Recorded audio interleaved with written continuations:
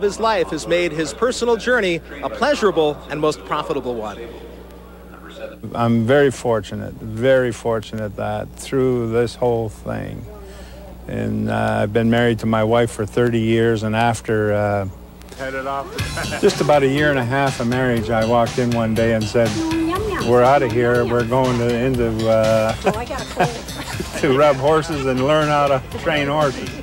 And uh, I had her support 100% all the way.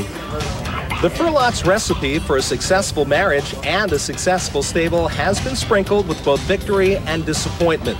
While this little bay can really cook on the track, every step he takes is a bittersweet reminder of an illness that nearly claimed his life. Strong Clan had overcome such difficulties to become the type of horse he is that it's hard to walk by a stall every day and look at him and uh, not feel a little uh, tinge in your heart for him. When the colt was just two years old, he developed a severe stomach disorder known as colic. He required two operations to relieve the pain and remove parts of the damaged intestine.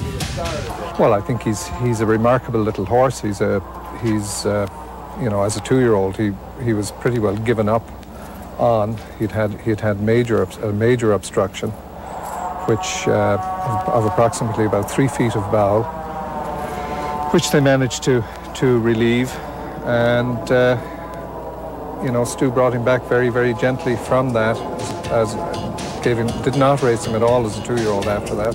Brought him back as a three-year-old. He was probably not as not up to full full potential, didn't live up to his full potential, but gradually he's come back to his full potential, and he's probably one of the best horses in the country right now.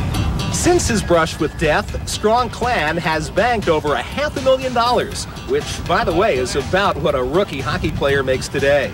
With these fiscal facts in mind, does Stew Firlotte ever regret giving up his life on the ice?